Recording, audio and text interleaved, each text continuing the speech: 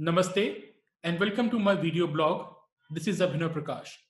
And today we have with us a very special guest, which most of you already know, Abhijit Mitra, defense analyst and a senior fellow at the International Peace and Conflict Studies. Abhijit, welcome to the show. Thanks for having me, Abhinav. So today we are going to discuss something very interesting, you know, and which is called industrialization. We all talk about industrialization our policymakers have been talking about it. We study about it in school that how the West was able to industrialize and India could not, and third world countries cannot. You have different Marxist theories, institutional theories. You have different, even racist theories about it that somehow the Westerners are genetically superior, so they were able to do that. So we are going to discuss these things that what exactly is industrialization and what does it entail? And can India ever catch up? So Abhijit, starting to starting with the first question itself, what exactly do we mean by industrialization? What what is this phenomenon all about? Okay. So see, the thing is, industrialization is for me, um, and I think for most anthropologists, is the application of chemical energy to the production process. Right. And many people confuse this with scale you know you can have potters making pottery you can have uh, uh, hundreds of thousands of people together like the ming imperial porcelain factory. Or you can have uh, hundreds of thousands of slaves uh, working off in a coal mine. That doesn't make it industry. And you know the problem in india is several historians like irfan habib romila thapar and co they claim that scale is industry. Scale is not industry industry and industrialization very specifically start with the use of coal energy to uh, uh, uh, uh the industry uh, to a production process. And then they move on to you know other fossil fuels. So uh, diesel petrol and things like that. And now of course you have nuclear energy. So it's basically what it does. For example the earliest use of coal was to pump water out of uh, coal shafts. And it was the most logical thing to do because you're producing the coal out there. And they discovered that, you know, there was this water pump because one of the things in England when you are digging for coal is because it's so rainy, the water tends to accumulate. And you needed to keep draining these tunnels of water so that the miners could, you know, uh, uh, extract the coal. And what would happen is that you had, uh, they discovered this coal engine, which would then suck the water out through vacuum and pressure. Uh, and it was fantastic because for a human being, it required them to keep taking buckets out, keep bucketing things out. Whereas here, what you had was a pipe which was sucking all the water out. And it was fantastic because it did it in a much, much more efficient way. So the efficiency increases manifold because see your total energy, if you look at it mathematically, the total energy available on earth for a normal physical process as opposed to a chemical process, which is to say a human being doing things, is the sun radiates a certain amount of energy onto earth. The earth processes it and it produces uh, crops which you eat. In that process, a lot of energy is lost then when you eat only part of the energy gets absorbed into your body. Most of it gets lost.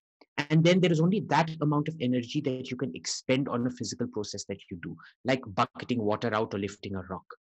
Whereas with chemical energy the loss is much much less. It's focused to that particular point like say a coal engine or a coal water removal uh, machine.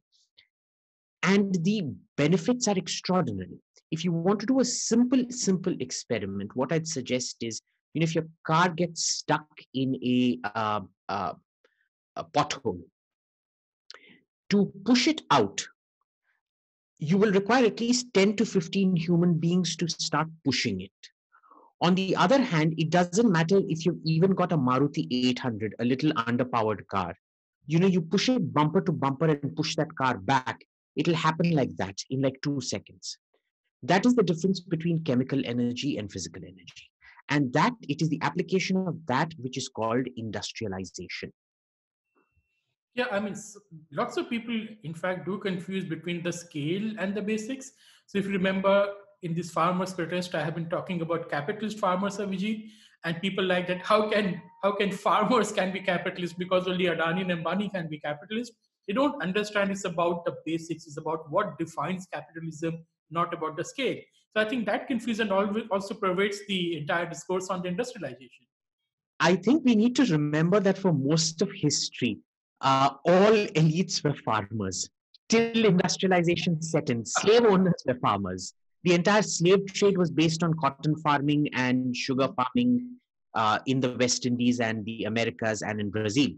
So, you know, this notion that farmers are somehow this benign, non capitalistic, the foundations of capitalism were laid by farmers, by the accumulation of farm surpluses, by uber farmers, if you want to call it that, who controlled enough production that they could specialize then in warfare or something like that. But they were always farmers. All wealth, well, most wealth prior to the Industrial Revolution was farm-based agricultural surpluses. other than you know trade. so, uh, so we are talking about industrialization. So uh, there are scholars you are mentioning Irfan Habib and many people they have contended that it was India and China who were the best candidate of industrial revolution, let's say in the 17th century, but it somehow happened in the West. You know, what's your take on that? Do you really think that India or even China was on their way to have industrial uh, revolution, some kind of that? Or is, is just, you know, that's a, uh, I think we are being too romantic as we always are about our own past. Um, you know, these um, uh, history, these what if histories, you know, what if Dara Shikoh had become emperor instead of Aurangzeb? I'm just amazed that these kind of things are even taken seriously. You know, these alternate histories, they belong to fiction, not to reality reality would dictate that where you had a manpower shortage, that is where mechanization would first come in out of sheer necessity. Right? So, with China and India, you never realistically had the need for mechanization because for anything, it didn't matter if four or five people broke their backs, uh, you know, carrying the stone out because you had overpopulation. Human life was cheap work was very easily done by manpower. Even today, why don't we mechanize? Why does the farmer do back breaking labor? Because there's too much labor. Right? Uh, uh, why don't most Indian houses own a vacuum cleaner? It's because you've got somebody to come and sweep and swab and everything, and you don't need to, uh, something expensive that costs about 12, 13,000 rupees to suck up uh, things. Even though it does a different function, this is the way people look at it in India a lot of people in India still have people coming over to wash their clothes instead of just buying a washing machine, right? So th- there's, it is usually a paucity of human beings that would given the most impetus to both innovation and to mechanization. And you look at this traditionally, uh, you know, Egypt, for example, was always overpopulated. Initially, it led to a spurt of innovation but after that, it sort of becomes the breadbasket for Greece, Rome, Persia. And all the other innovations start coming from there, not from the overpopulated regions, right? Uh, in uh, Greece, for example, why was slavery so important? Because the population was so small, you needed slaves to come do the work. Because if you go to Greece, you realize it's very hilly, arid, uh, mountainous land. You can't grow much. Uh, Norway is quite similar but that is why they started plundering outside you know the viking expeditions and things like that. In both norway and greece it is seafaring that is easier because the fjords the uh, uh, you know the sea inlets are so sharp and deep. Land transport doesn't make sense so you develop sea transport. So the the the notion that a human surplus society would find a way of getting rid of its biggest asset which was the human surplus is honestly quite laughable because it just goes against every principle of human innovation historically. Sure. Let's say if we bring in Ian Morris and he talks about these things and he says that is the uh, crisis caused by ever expanding population, which basically drove the invention and innovation. And what you are saying that that doesn't matter because if you look at the Europe in the 17th century, it was very much overpopulated and that was you know the, the living standards were falling uh, the conditions were terrible in all the cities of the Europe, Western Europe. And that basically led to this entire thing of innovation. But what you're saying does not matches with what Ian Morris is saying. Right. So the thing here is Ian Morris is partially right that the greater the pool, the greater the population pressure, the greater the uh, thrust to innovation. But remember something that happened in Britain at this period of time. You're also looking at a significant accumulation of capital, right? And now for capital, you want to use more and more efficient means of production because you want to save money right? In asia that concept of saving money uh, you know cutting down on uh, uh, uh, labor and things like that that simply didn't exist at that point. So it's the it's the intersection of two separate things. It is pure capitalism coming to roost plus a population in population pressure in that sense right we also need to remember that in the 1700s when the bulk of the industrial revolution takes place in england England lost one quarter of its population. Uh, there were severe famines. There were uh, because you know there was this explosion of a uh, Icelandic volcano which caused massive climate change effects throughout Europe. So you actually had this thing where in the earlier part of the 17th century you had this uh, uh, uh, population boom uh, if you actually look at it, there was a lot of these feudal, uh, well, the nobility seizing the commons' lands. So that was also one of the highest times of highway brigandage and things like that. And there was the need for these lords and ladies to sort of reduce their dependence on human labor. And at any rate, that human labor was never as free and available as it was in the East the East always had a massive, massive surplus of human labor. But curiously enough, in the West, you also see that sudden decline in human labor that happens because of that volcanic explosion.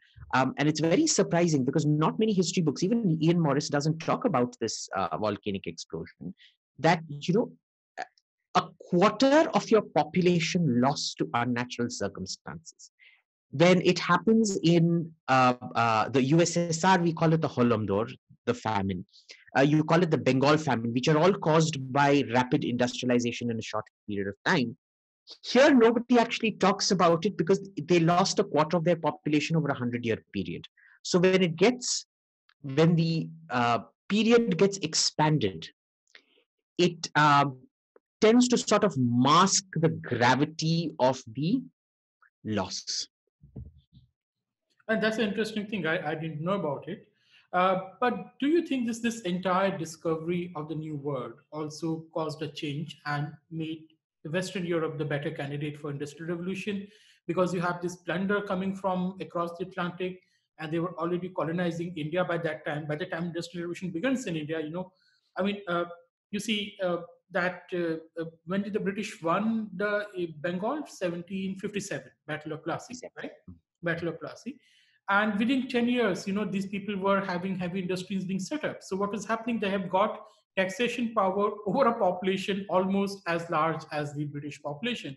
So there was lots of plunder flowing in from the colonies from india from asia from americas which led to this what you call initial capital accumulation do you think that played a role and that is not available to countries like india uh, no because see that doesn't hold up to statistical probability i'll tell you why the biggest uh, uh, booty coming in was Spain and Portugal from the Americas, right? Why didn't they industrialize? They remained non-industrial right up to the 50s, 1950s, uh, so the 20th century basically. Why did, for example, uh, Germany industrialize? Germany didn't really have colonies. Namibia, there's nothing much to be extracted. I mean, there's diamonds, but that uh, one industry alone can't fuel this. So, you know, again, these are very, very simplistic theories. You know, like Shashi Tharoor, I know, has done a quite a valiant job trying to say that it was Indian plunder that uh, uh, uh, uh, uh sparked off the Industrial Revolution wrong. He confuses the symptom with the cause. I think what people don't realize is Britain followed a mercantilist policy, and people confuse mercantilism with capitalism, and they're two completely different things. In fact, mercantilism is a corrosion of capitalism. It's crony capitalism. It's it, it's not staying true to the purpose of capital, right? So you, you, you have too many European countries industrializing at the same point of time who do not have access to these colonies or excess capital coming in, plunder capital coming in from the colonies to spark this industrialization. So there's there's a fundamental gap here between cause and effect. Did it make industrialization easier? Yes, of course. You know, uh, uh, capital growing out of the air always makes capital uh, capitalization easier uh, industrialization easier but it is not the sole cause i think these are very simplistic monocausal explanations that we like to come up with especially indian historians love to come up with because you know being such a pathetic footnote in history we like to overbloat our sense of importance I mean, you just triggered lots of people. Pathetic footnote of history. Why would you say that?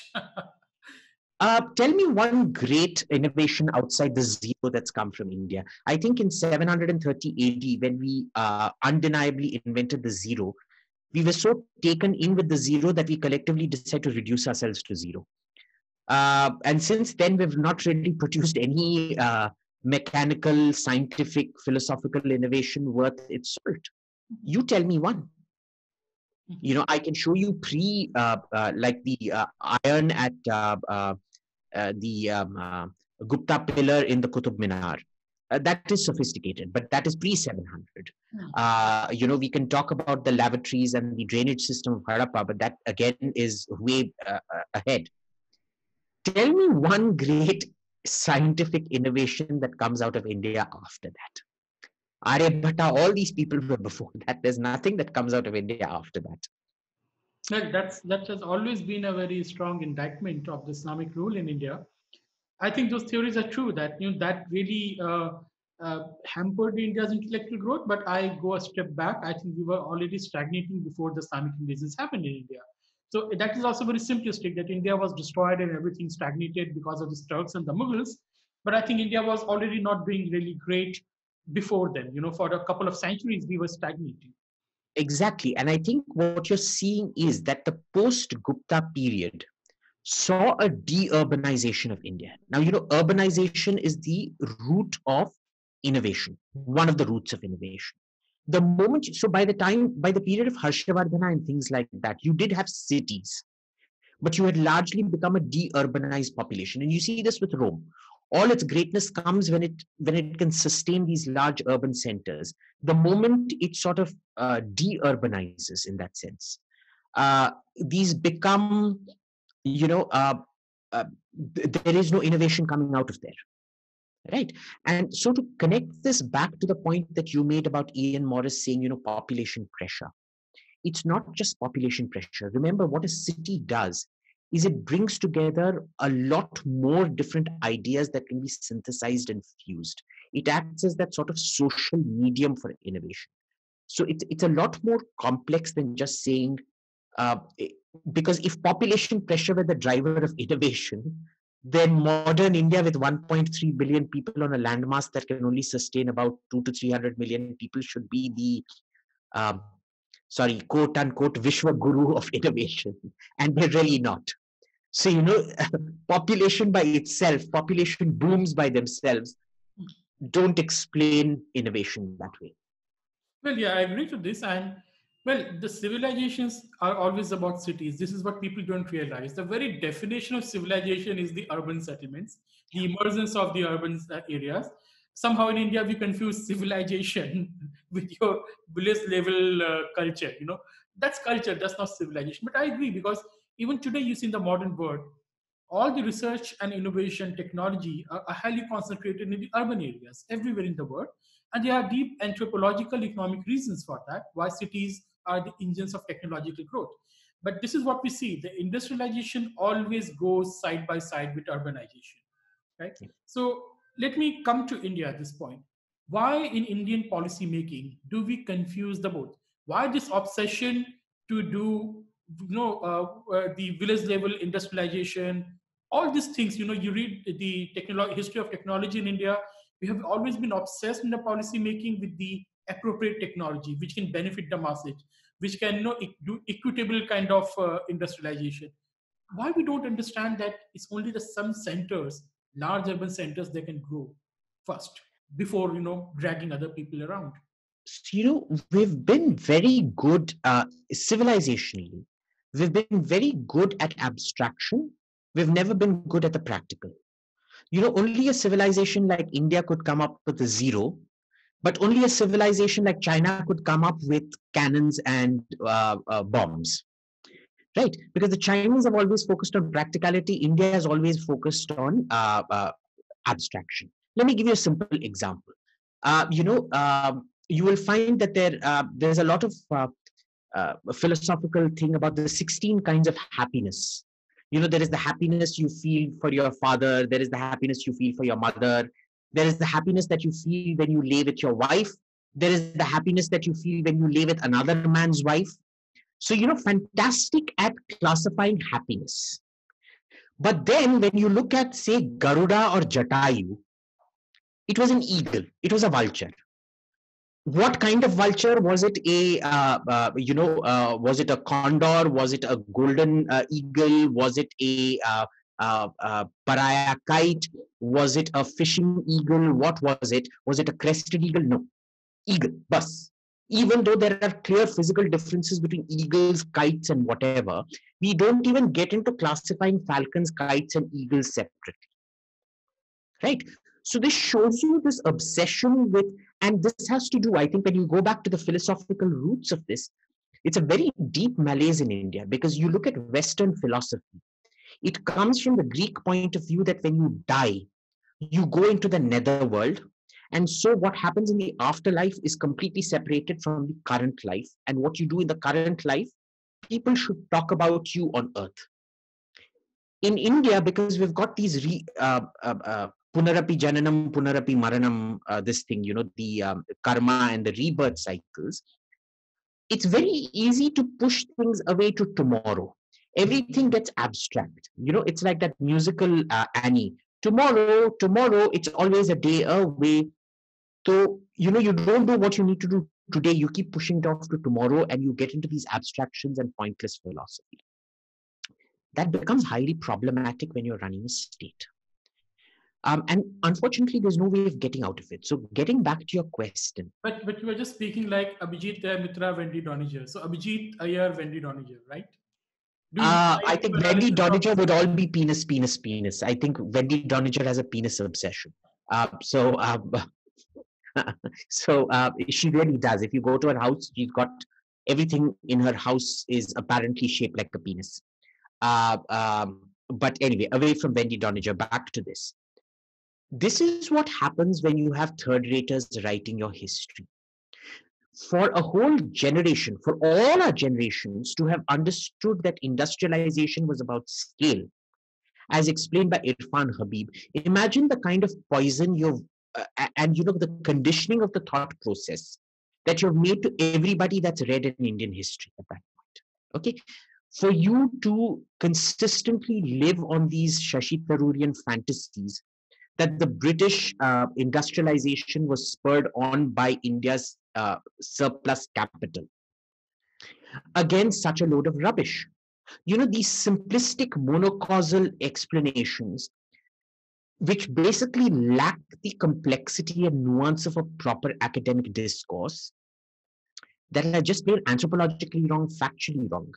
We don't go back to first principles and understand these things because it suits our ego that Britain was built on Indian capital, we accept it because it flatters our ego to say that you know India had the highest per capita income and we were industrialized prior to the 1700s. We accept the Irfan Habib school of thought. Now the point is, you can keep claiming that India had a higher per capita income.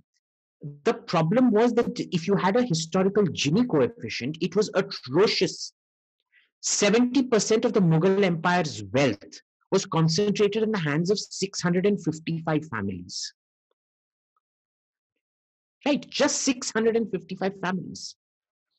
There is no way that the remaining, if you uh, divide the remaining 30% up between the rest of the population, there is absolutely no way that you're even remotely close to the human standards that France, Northern Italy, Southern Italy, Germany, Holland, Britain enjoyed at this point of time. You were way, way be, be, uh, uh, uh behind. And this was what, uh, you know, this kind of feudalism did, that concentration of wealth, the, the wealth capture at the top was so severe. And this, of course, is a product of the kind of ossification of society we see sometime around 500 to 700 AD, which is when you also become vulnerable to Turkish invasions. Before that, you could repel Turkish invasion. You did. After that, you find yourself single-handedly incapable. And think about this, Abhinav. Why is it? It's not just Hindus that are unable to repel Turkic invasions. It's also the Muslim dynasties who come here, who get acclimatized to India and turn Indian, who are then unable to deal with Turkic invasions when they come from outside. The same way Lodi is unable to deal with the Mughals when they come from outside. The same way that uh, uh, Muhammad Shah Rangila is unable to deal with Nadir Shah when he comes from uh, outside. The same way, well, I mean, uh, the Marathas are unable to deal with Ahmad Shah Abdali. What is it? See, it is not the fact that you, Hindus were unable to do it. It is a fact that Indians or people that had gone native were unable to do it to people coming from the steppes.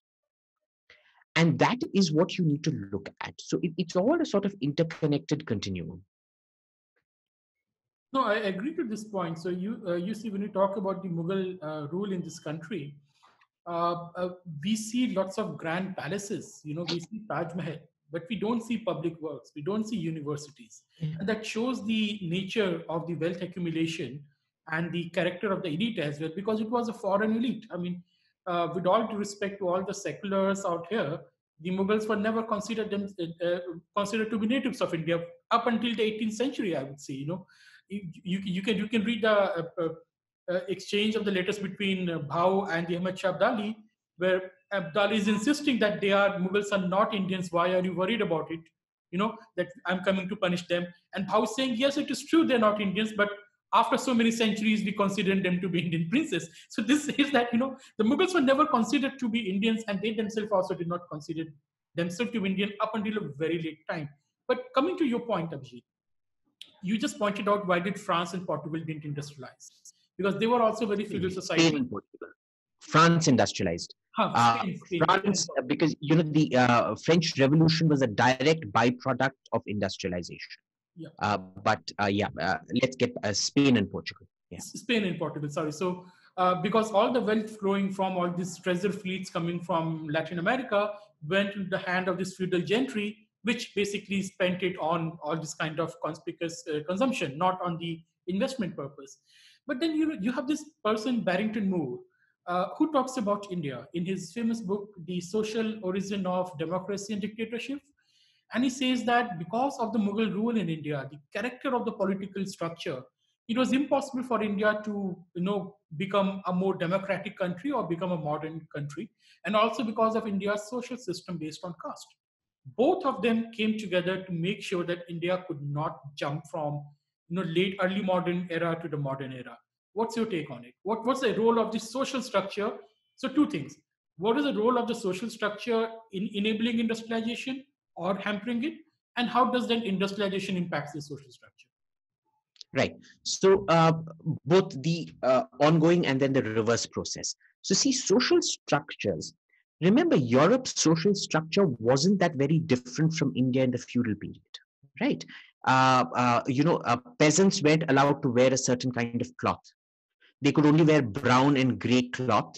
Uh, if they wore anything above their station, they were whipped. Traders could only and i would really recommend your viewers uh, uh, watch barbara uh, read barbara tuchman uh, the calamitous 14th century where you get to see how different these classes were treated what the burden of proof was. You know it was exactly like a caste system in the sense and it was dictated by birth right? Even social mobility was highly limited in those days uh, uh, the, the, restrictions went on your food, on your clothing, on everything right? Now in spite of that what you, what you find is what are the main events that sort of pushed this thing? The first was the black death. You know the black death what it does is it wipes off wipes off about one third of europe's population. And from there, you have this sort of uh, reformation, this uh, lack of faith in the church, which then leads to the Protestant uh, uh, uh, revolution, and a whole load of innovation that comes about in Switzerland and Holland because of that. The second great trauma that you have is in the 1600s, where you have the 30 Years' War which was again so devastating, it sort of reorganized the entire social fabric of Europe. Now, you know, when one third of your population dies, it sort of reorganizes social fabric. And this is what Europe did very, very successfully in that sense. Right? But remember, it, it, it's just sheer dumb luck at times.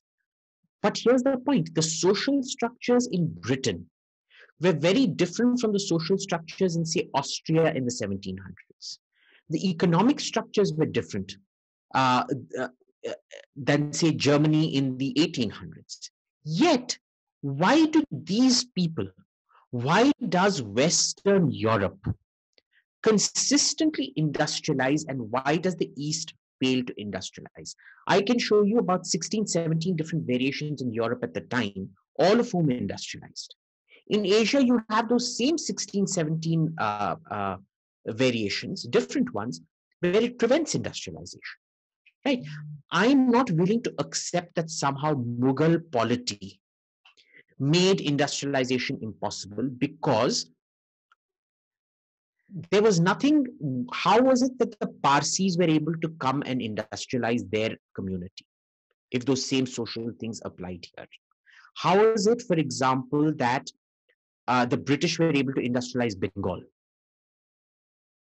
right there's issues here you, uh, i don't buy this argument completely it, it's more uh, all things not intersecting at the same time no, but the reverse effect. Let, let me cut. You're saying the Mughal polity can't be held responsible, and you are quoting Parsis in the British. That's the whole point. Parsis were able to do that when the British rule started in India. Yes. So why then the other societies in India able to do it? Hmm. The Jews, the Sassoons did it. The Parsis, the uh, all the Tatas and co, and the Batlibois and the Petits did it. Why were and the Wadias did it? Why were Hindus not able to do it? Why were Muslims not able to do it? But I think in Bengal, uh, the Hindus, especially the uh, father or the grandfather of Rabindranath Tagore, he started setting up industries out there. But what we forget, this is very interesting. And we need to remember a lot of it was forced industrialization as well. And the most chronic example of that was Bengal in the Second World War, which also led to the Great Bengal Famine. Mm-hmm. Right. So uh, there is a very specific reason why industrialization happens. How is it that Africa never industrialized? Hmm. I mean, they didn't suffer Mughal rule. Why is it that Iran didn't industrialize till the uh, uh, uh um, till the 1950s, realistically? Uh, so, you know, th- th- there's a reason to this. It is also called a leadership determined to industrialize. Japan remained feudal up to 1870. Remember that. It was only in 1870 where Commodore Perry goes up and opens up Japan. Uh, Japan was even behind us because they'd shut down all foreign contact. They didn't even know what was happening abroad. And yet, within the space of 30 years, they grow so powerful that they take on the Russian fleet in 1905, just 35 years after, and they defeat the Russian fleet at the Battle of Tsushima. Right?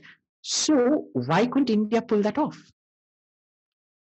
There's there's a fundamental explanation here, uh, which uh, it, it's probably too complex, but it probably has a lot to do with the fact that we never live in the here and the now. Even today, you know, economic policy, we've got such a bizarre explanation for it. Nobody wants to focus on what's good economics or bad economics. It's always a partisan take on economics. If I do it, it's good. If you do it, it's bad. Like you're seeing with the farmer protests. The same people that supported all these laws today are at the forefront of opposing these laws today. Right? Uh, in Japan, you didn't have that. In Iran, you didn't have that. Maybe a dictatorship helps right? Uh, in India, it was also a lack of coordinated uh, rule because you didn't have a single political unit called India at that point of time. uh, that brings us to a very important point, Abhijit, that industrialization, as uh, we see, is a very complex process. It's a very chaotic process, right? It, it, it really causes lots of stress in the society, lots of chaos, violence. It's an extraordinarily violent process, and it always needs a very strong state to manage it. And you just said we never had this unified Indian state to do that. I mean, under Indian rule, we had it under the British, but not under the Indians. Uh, how do you, you know, uh, rate the effectiveness of Indian state, or let's say the ability of the Indian state to manage this process? Because I think Indian state does not even exist on the ground. We are so understaffed at every level. We just don't have public employment in this country. We don't have people to run the state mechanism, and still people come and say, you know, cut down the government, cut down the government, uh, shut down this, shut down that. How does that work? Why does this you know anti-state mentality why this typical indian mentality of living in some remote corner in a forest? It's actually that we have too much government but we have the employment in all the wrong sectors. Right? Uh, what happens with industrialization is the reason it is such a disruptive and violent process which is why you know you had the great revolts of 1848 why you had the french revolution and things like that is because that when you start industry, it is taking away a labor workforce from agriculture. It is changing the very nature of landholding patterns. It is challenging the status quo because you have new, uh, a, a sort of new feudal class arising in that sense that did not depend on agriculture. It is challenging the status quo, the power structures, and things like that. It is changing the life of people on the ground because initial industrialization is not nice for people. You know in agriculture you start from 5 in the morning but you're going working your fields. Uh, you come back by 5 in the evening and you're so tired you then go off to sleep. In industry you may just be working for 8 or 9 hours but the possibility for industrial accidents is a lot more. The workplace is unhygienic. You know you're all cramped into sort of urban squalor. And most important you're not working for yourself. You're working for somebody else. You're not even getting a share of it. Even when you're an agricultural tenant you get to keep a share of what you have grown. The difference is that industrialization will always give you results agriculture you don't know when the market is going to collapse when the monsoon is going to collapse when the floods are going to uh, destroy the fertility of your crops uh, when the snow is going to come too early or the rain is going to come too early and break your crops, uh, when a disease is going to come and destroy your crops, when locusts are going to come and eat your crops, uh, when rats are going to come and infect your crops. It's a high, high uncertainty, uh, uh, high risk venture, which industrialization isn't. So, even in that, it was a deeply disruptive process. The second thing that you see is initial industrialization. It actually lowers the living standards of the peasantry somewhat because urbanization leads to squalor, which is not as healthy a lifestyle as, say, living out in the villages and things like that. The third thing is that initially it adds to the power of your crony capitalists. Their power actually goes through the roof. Like you see with uh, the Americas, like you see with Britain. Uh, isn't it amazing that the greatest period of highway robbery was also coincidental with the earliest period of industrialization? And it is sort of to combat that that the state monopoly on violence takes over. Because the population dependent on agriculture is so much, and your agricultural yields are reducing. People are moving towards industry. So the resource competition actually goes up and you need much more effective means of violence management than you had in the past. Centralization in that sense, planning, decision making. Now, what we have in India today is we've got too many PSUs and crap like that. We've got too many paper pushers doing paper jobs. But where are the people doing real jobs? Your cops are a total of what, 300 to 500,000 max you've got the lowest police to human ratio on earth and those are the people actually going out and doing the actual job on the field they are not the ones sitting in government offices and stamping things which can be done much more efficiently and we need to probably reduce about three quarters of them right? You need a police force that needs to be 10 times bigger. You need a police force of at least about three to four million people. Right now, you have about 300 to 500,000 odd people. So you need a 10x is to about 6x to 10x increase in your police force. Second, what you need to focus on is regulatory mechanisms. And regulatory mechanisms is what prevents the tyranny of the rich that you see in early industrial societies. We again don't have that. You have courts that are so not clear, just like our hist- historians aren't clear on what industrialization is or how Britain industrialized. You have our courts that take three months to decide that inconveniencing other people through sit-ins like Shaheen Bagh or blockades like uh, the farmers' protests are illegal. If a judge does not know this instinctively and can't rule on this within a few seconds, understand how weak the training in your fundamental legal principles is. Understand what a joke your rule of law is. This is a very, very serious problem. If a Supreme Court takes three months to decide that squatting and causing public inconvenience is illegal, then you have a very, very serious problem. Well, you, you can't question judiciary, Abhijit. It's a completely meritorious institution. There are no reservations. No, we all know it isn't. I think if you look at the there are no reservations that, in media. There are no reservations in judiciary. No, no, but uh, what 70 to 90 percent, 70 to 90 percent of all the judges, their parents were also judges. Let's not forget that. So you know, in that sense, it's almost like the same privileged robber baron era that we're looking at uh, abroad. Very problematic. So this brings us to the state monopoly on violence. And this is where a lot of these wokes and lefties get confused. This is called isomorphic mimicry.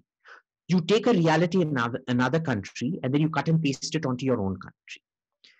What people don't realize is when they move from agrarianism to industrialization, the state monopoly on violence became absolute the state's control of affairs became absolute. It had to become absolute because industrialization is such a horrible process. Like I said, Britain in the 1700s lost a quarter of its population.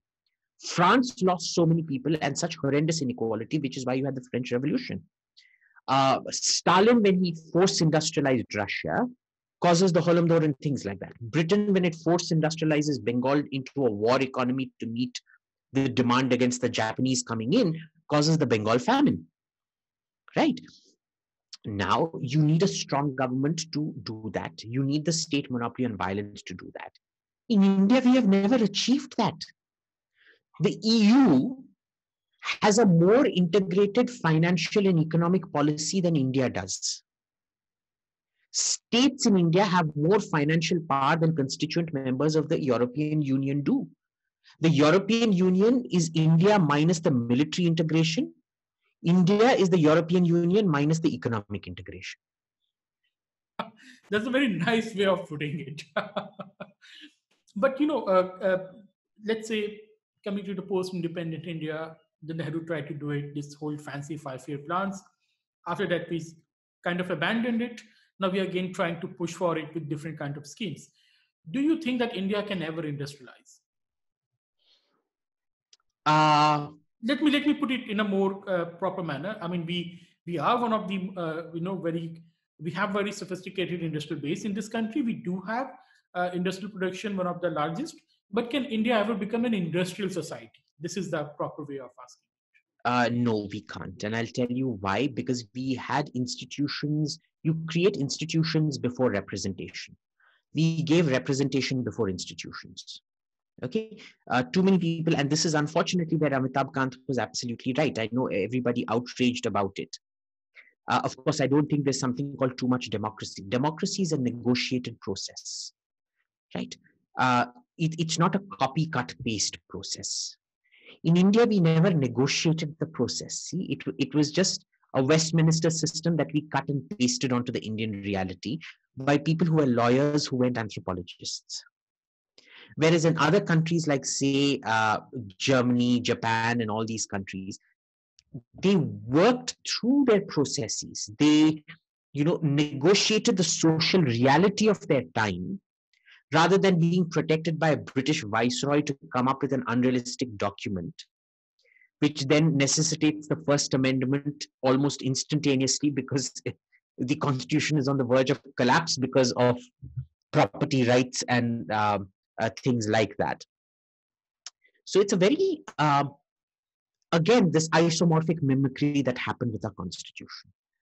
Uh, Ayub Khan was on the right track in Pakistan, industrialized till Zulfikar Ali Bhutto sort of derailed him with the war because he didn't want Ayub Khan getting too powerful. So he kind of instigated that 1965 war and got rid of Ayub Khan. Uh, but uh, with us, I mean, explain that you just made a very interesting claim out there. So this, uh, this is on record. This is on record. Zulfikar Ali Bhutto gets asked, uh, why did you start the 65 war when you knew you had no chance of victory, when India-Pakistan relations were just fine in the sense there was no hostility? And he said, damn you, man, that was the only way of getting rid of the military. So he literally wanted to force the military into a war they would lose so that he could come to power and get rid of the military. Right. And that and then he brings in socialism. Again, cut, copy, paste, which doesn't work. You haven't created enough of a wealth surplus to then distribute it. He starts distributing it and then he fails again. So in India, what happens is uh, we have too much representation, uh, too many rights, and not enough duties. And that fundamentally becomes a problem. Your institutions aren't strong enough. You don't have law and order. Your regulatory mechanisms are a joke. Uh, your judiciary is, well, uh, no contempt of court, but just insert some words out here, whatever comes to your mind. Uh, your uh, uh, uh lawmaking processes are a joke. Your statistical collection is the biggest sham anywhere in the third world. I know african uh, i know less developed african countries that have better statistical collection than the indian statistical collection process all the statistics are hidden. And why are they hidden? Because they're not actually collected in a proper way with scientific rigor. So you know bureaucrats can feed crap to their ministers and give them concocted statistics. Which is why one of the biggest issues that people face in this country when researching it is the lack of statistics. I can tell you at ORF, for example, when I was there, we collected about, we bought, we bought at a pittance the data of about 24 or 30 different government departments. And this is such extraordinary data. It wasn't done like marketing agencies that would do 2,000 houses, 3,000 houses, households, or things like that. This was about three to 500,000 households, three to five lakh households. Each one of these 24 to 30 departments had carried out their own census uh, uh, surveys, all of which was stored in incompatible code. Not one of these censuses talked to the other. They didn't even know what to do with it after that.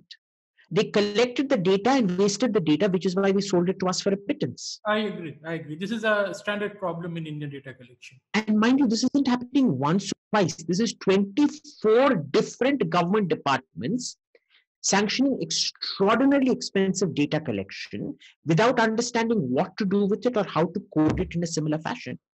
You don't even have government standards on statistics. You don't have government standards on coding statistics you don't even have a proper government centralized statistical survey. In Australia, you've got the Australian Bureau of Statistics, which is a, an entirely independent department. It's a government, but what it does is it earns its money. It gives the government data for free, but anybody else who wants data, especially companies coming in and things like that, they pay for the data. And so they get very accurate market risk analysis. Here you don't.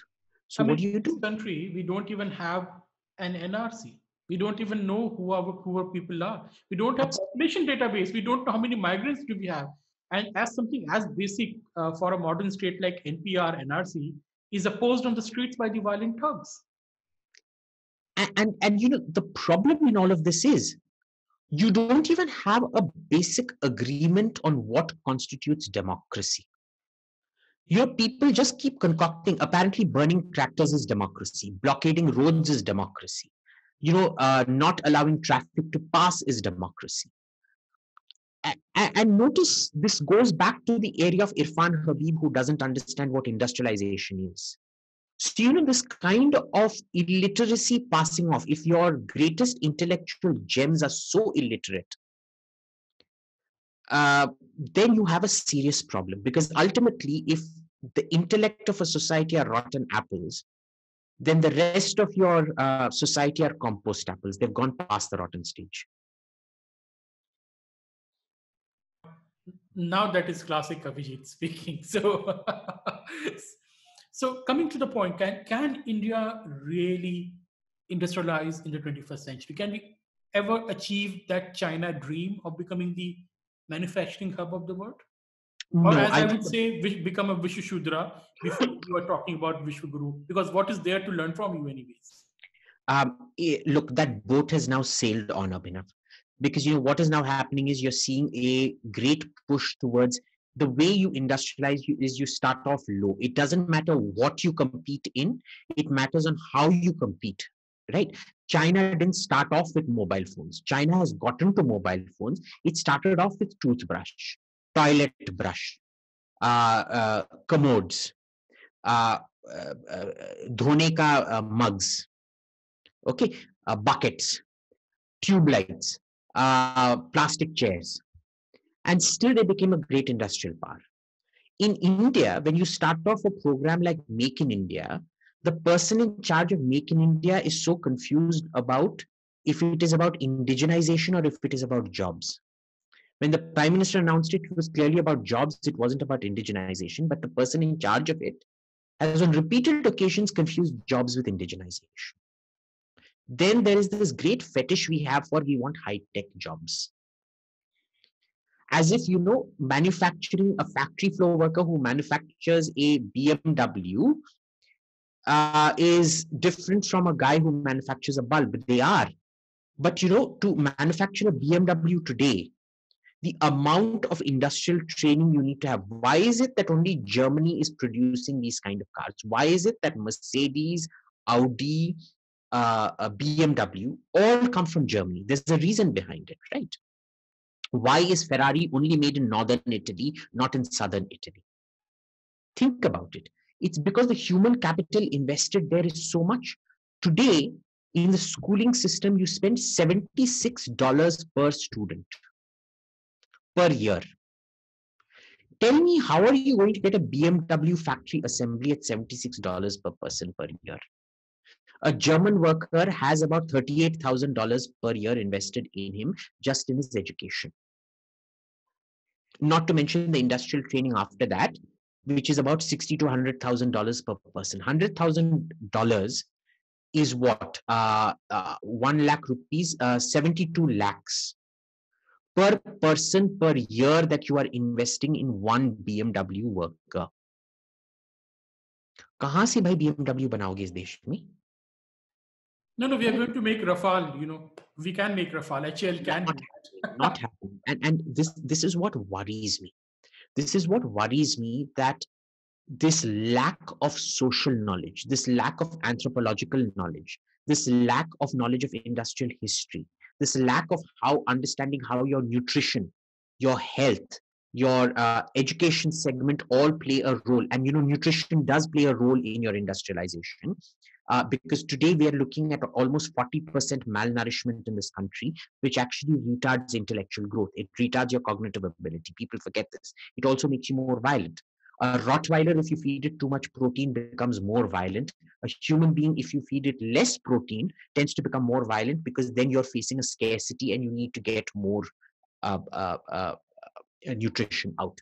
And the problem with that kind of uh, cognitive deficit that builds up because of malnutrition lasts three generations. So you're condemning not just you, you're also condemning your children and your grandchildren to that cognitive deficit, which then takes 70 years to rebuild, and there's nothing realistically that can rebuild it. So you know the kind of mental damage we're causing to our population, which prevents. I'm I'm I'm just talking about the investment in money. We're not even going to the mental damage you're causing to your population that is preventing industrialization. Okay. All of this is so cumulative. The problem set has now increased manifold. Now, why Nehru failed to do it, I guess, is because the disruption was so great. He also didn't allow private companies to do it. Private companies should have made their own money doing it, made profits doing it. No. Uh, so, like Modi's na khaunga na khani dunga, it was na karunga na karne dunga. Right? He didn't have the money to do it. Every time he'd run out of money, he'd start a new wave of nationalizations and seize other people's money that wasn't his. And then he'd run all of them into the ground because they'd all start becoming bankrupt. He would take off profit making enterprises and make them bankrupt within a period of three to four years. In that sense, you know, Nehru's industrial policy was exactly like Hugo Chavez or Nicolas Maduro's industrial policy. The industrial policy of a truck driver and a failed uh, uh, uh, uh, uh military colonel okay. Uh, but you know you can uh, uh rent, uh, rent a historian always does wonders for you. All mm-hmm. you need to do like napoleon used to say you know history is a set of lies agreed upon. You just need to take these uh, hourly rental historians to write hagiographies about you. And essentially they will portray a man whose intellect was no greater than that of a truck driver as that of socrates or aristotle.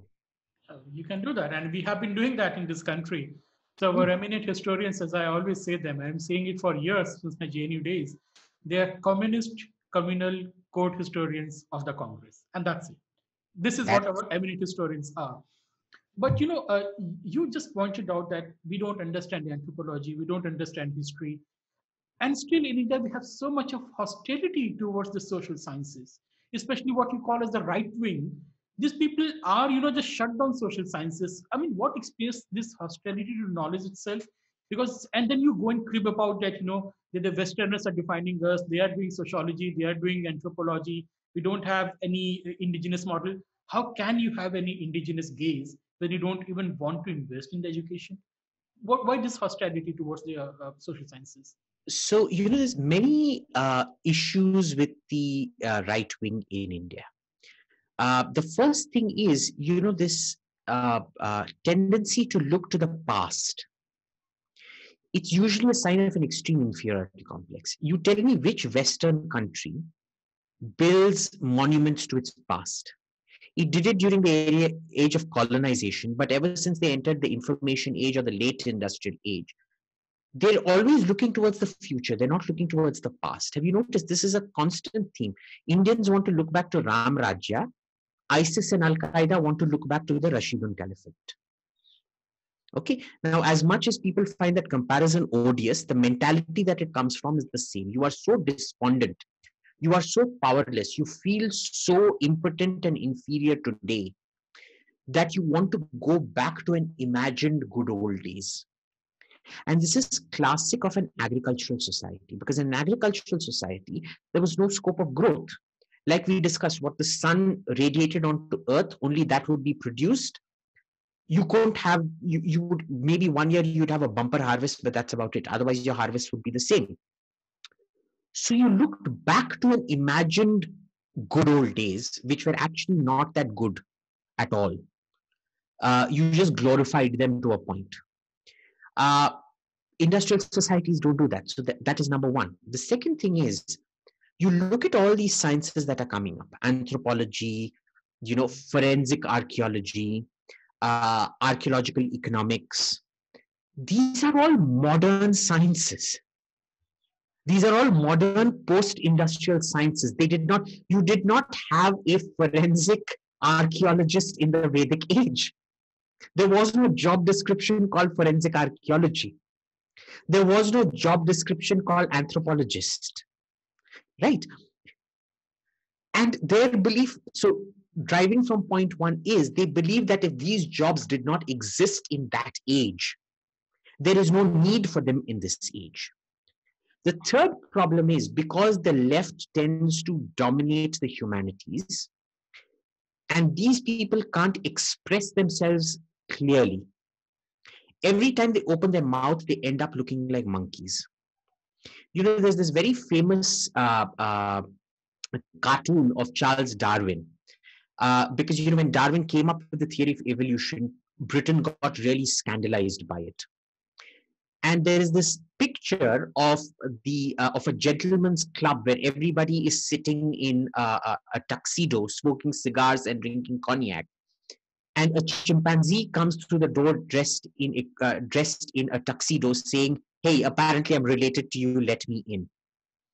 This is how they used to make fun of Charles Darwin in those days.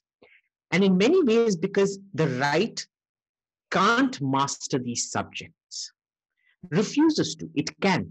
Because technically, if you look at it, anthropology favors the right.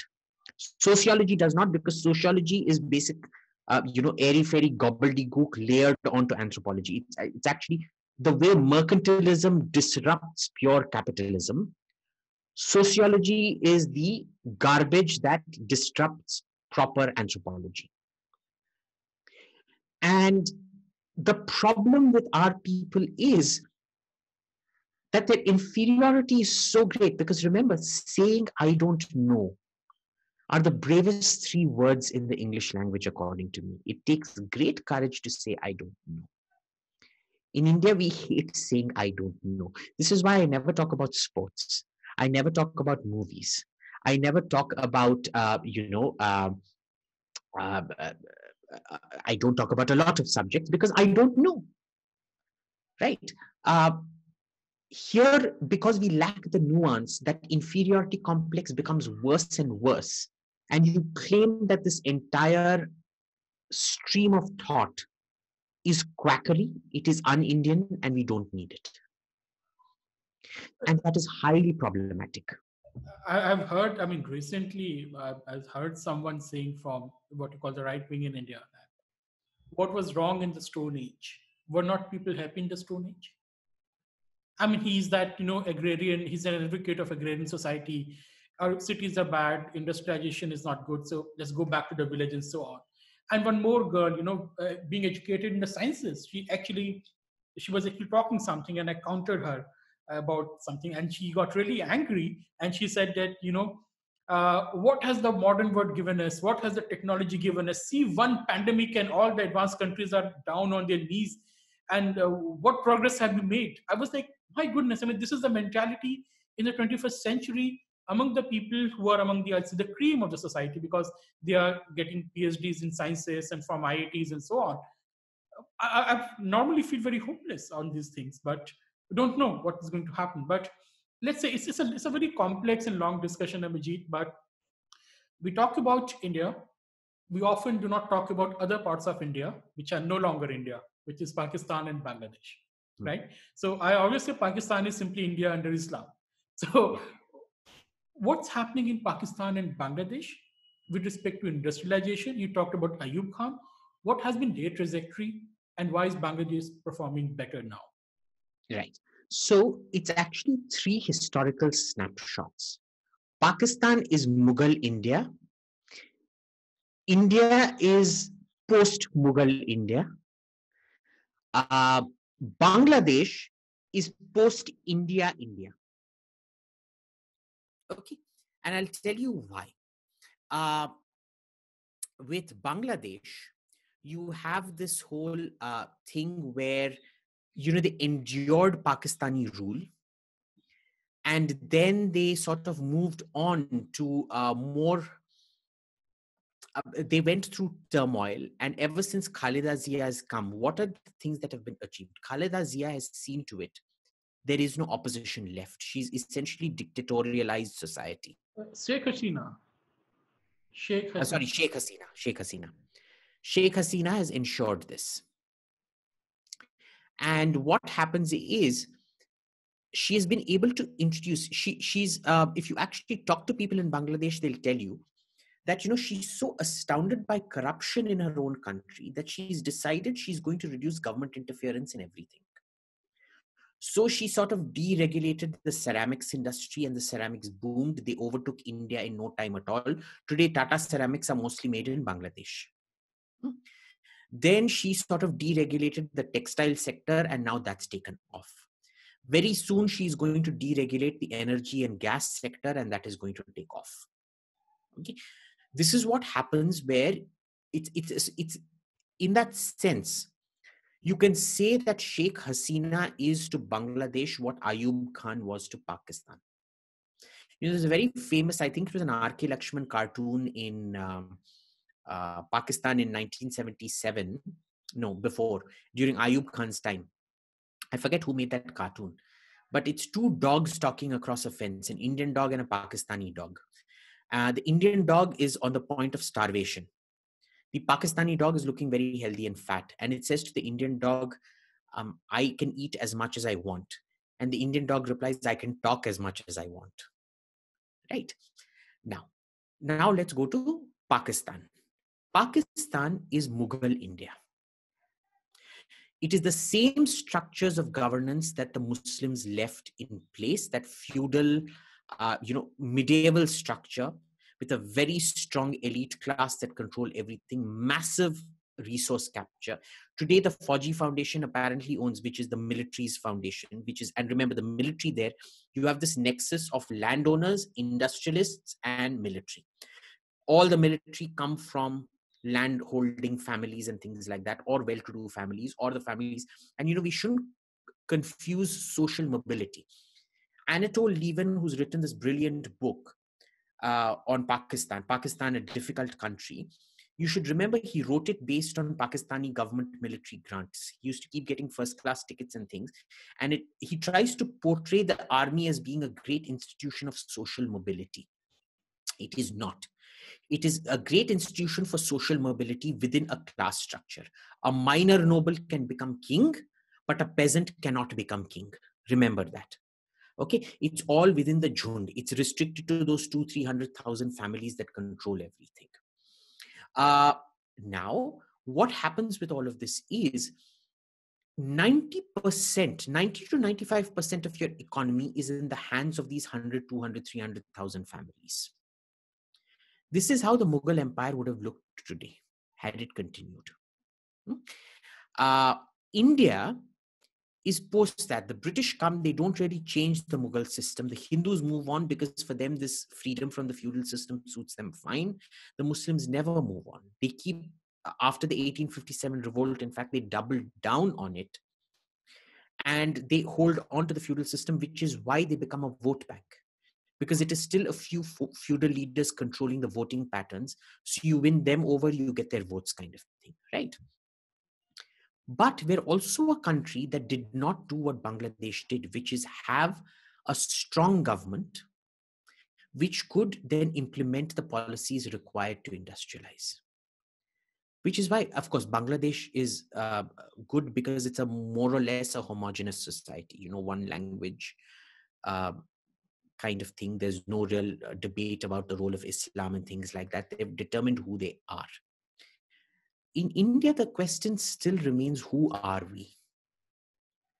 Because our definition of who an Indian is isn't determined by our ethnicity, it's not determined by our language, it isn't determined by our religion, it isn't even determined by our culture. I'm talking about the constitutional definition. Uh, it is determined by one party struggling against a foreign invader. That is India's definition of India today. The Congress party's self image of itself is the idea of India. And see, that never works. If you look at a linguistic society like Germany or Japan, it's an eternal principle. As long as the language lasts, the idea of a nation will last. If you look at a country like America, as long as it's based on an idea, a better future for all, the American dream.